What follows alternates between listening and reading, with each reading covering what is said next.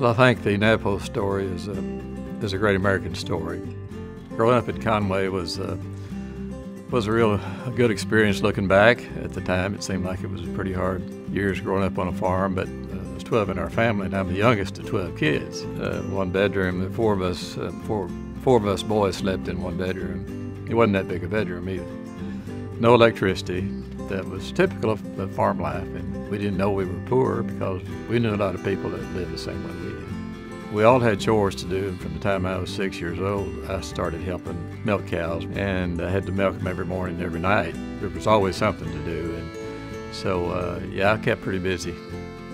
I refer back to my farm life a lot when people ask me about uh, some of the successes and what motivated me to do certain things. And I, I realized I learned really a lot by working on the farm. First of all, I learned teamwork. When you have that many chores to do and that many responsibilities, you do it with other members of the family. I learned a lot of pride.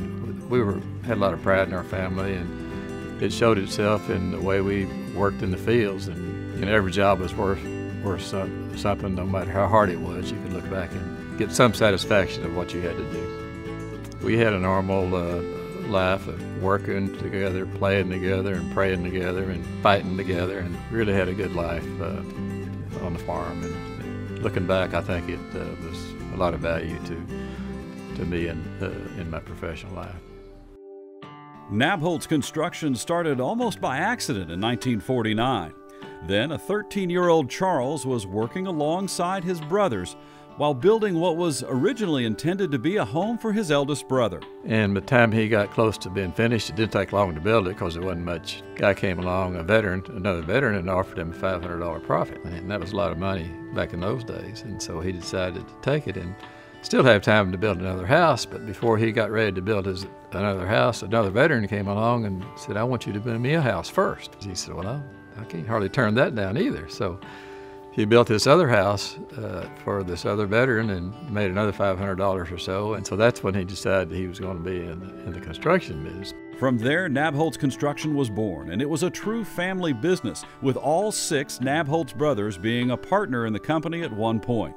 As Nabholz Construction grew, so did their reputation for service, hard work, and an unwavering adherence to the highest moral and ethical standards. When people talked about Nabholz, uh, integrity would come up quite a bit, and I knew I knew that was a good thing, and, and I was proud of it, and my other brothers were proud of the fact that there was a reputation being built, it was born and being built, and and anytime people uh, use the word integrity in describing your company, uh, I mean, it really made you feel good, and uh, it's a commitment that uh, we're proud of the reputation, but it's also a commitment going forward. There's always that pressure to make sure the company uh, lives uh, and uh, continues that reputation for integrity. Charles's induction into the Arkansas Business Hall of Fame is also a milestone.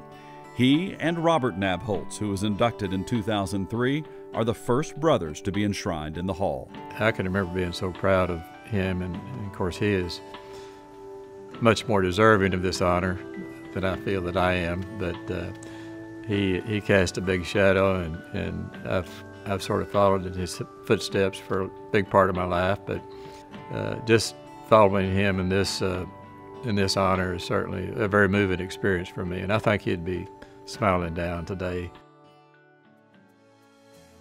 I thought couldn't be any more work harder than farming, but I learned pretty quick that uh, construction could be pretty hard work too. But I was young and excited, and, and I was learning something every day. I was around carpenters, I was around iron workers, I was around people who had skills that I never saw on the farm to the degree that I did in the construction business. So I was learning all the time, and uh, I was on a plan that I uh, didn't realize uh, that it would end up where it did, and I just took it as far as it would go, and and feel like that uh, uh, I guess I was born to be in this business.